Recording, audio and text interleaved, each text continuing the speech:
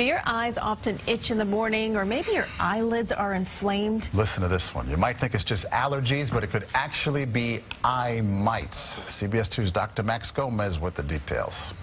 And the cat sleeps next to me. The cat sleeps over my head. The cat sleeps on my back. The cat sleeps on my chest. The cat sleeps in the pillow next to me. Um, but now the cat doesn't do that anymore.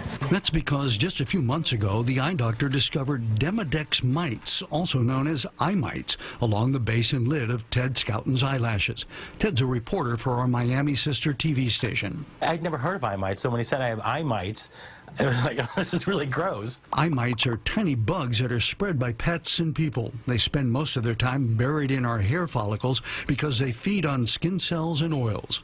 They try to avoid light, so what ends up happening is, as uh, awkward as this sounds, when we go to bed at night, they come out and they mate. And they will literally come out and actually uh, reproduce. Ted's treatment was wiping his eyelids twice a day for two months with tea tree oil to kill the mites in their eggs.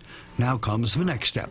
We're going to be performing a procedure that's going to exfoliate all the dead cells, all the dead critters from your eyelashes. We're exfoliating the biofilm, the debris from both biological matter, from bacteria, and just from literally years worth of buildup that resides on the actual lid margins. And now back at home, Ted is just a lot more careful with his pets. It's not a matter of getting rid of your pets, it's a matter of just being more aware, I think, right. of washing your hands and knowing that things can be in your hands. Now, these mites are everywhere, and they love pet fur. That's why you have to be very careful about touching your eyes after petting your cats or dogs or even shaking hands with people. But after successful treatment, patients often say their eyesight actually got better. Maurice? And the rest of us have the heebie-jeebies right about now, doctor. Thank you.